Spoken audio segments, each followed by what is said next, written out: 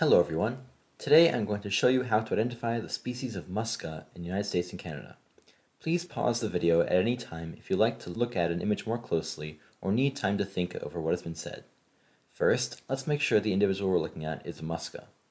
The genus Musca can be distinguished from all other calyptrate genera with the following features.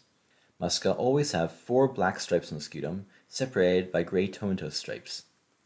Musca are unique in the superfamily Muscoidea, for having a sharply bent vein M1 plus 2, except for the genus Neomyia, which have a shiny green scutum and are thereby not confusable. All other similar calyptrate genera with a sharply bent vein M1 plus 2 have almost a perpendicular bend, unlike Musca, which have a rounded bend. Once we are certain that the fly is in the genus Musca, we can determine the species. There are two species of Musca in the US and Canada, Musca domestica and Musca autumnalis.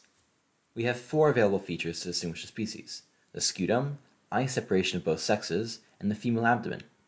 Musca domestica has extensive tomentose stripes on the scutum, and in Musca autumnalis, those stripes are only lightened on the anterior half of the scutum. It should be noted that some individuals of both species can have fainter stripes due to age or other factors, so please keep that in mind. The eyes of Musca domestica males are decently separated, whereas in Musca autumnalis they are almost touching, as you can see here. In females, the parafrontals, or the areas in between the central black area on the frons and the eyes, are wider in Musca autumnalis than in Musca domestica, as well as yellow in domestica and entirely white in autumnalis. I'll show that later. The female abdomen of Musca domestica almost always has orange, whereas in Musca autumnalis it is entirely gray-black, similar to that of sarcophagids, commonly known as flesh flies. Now that you know how to identify this genus, let's look at some examples. Here's our first one. First, let's make sure this is musca. We can see here that vein M1 plus 2 is sharply bending, but the bend is round, and along with a striped scutum, that makes this musca. This is a male because while the eyes are pretty separate, they are not separate enough to make it a female. Due to the separated male eyes, this is musca domestica. Next example. We can see here that the bend on M1 plus 2 is very steep, and almost, if not perfectly, perpendicular. Due to that, this is not musca and is in fact a sarcophagid, or flesh fly. Next.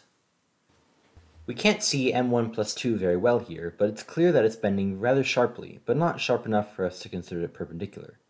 Along with the striped scutum, that means this is musca. This is a male, and the eyes are very close together, almost touching it seems, so this is musca autumnalis.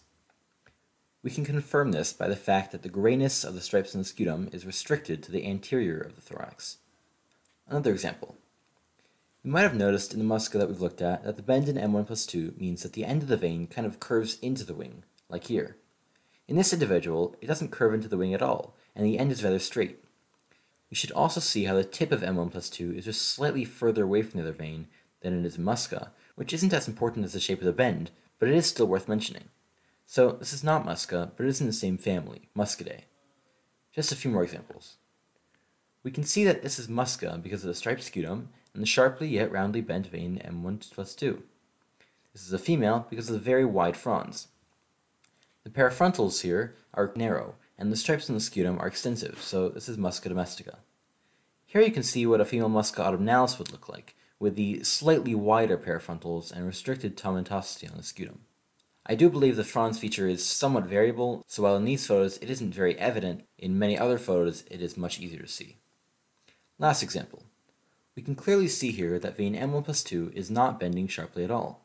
This is not Musca, but it is also Muscidae. Thank you so much for watching this video. I really hope this was helpful, and as always, please let me know if you have any questions in the comments.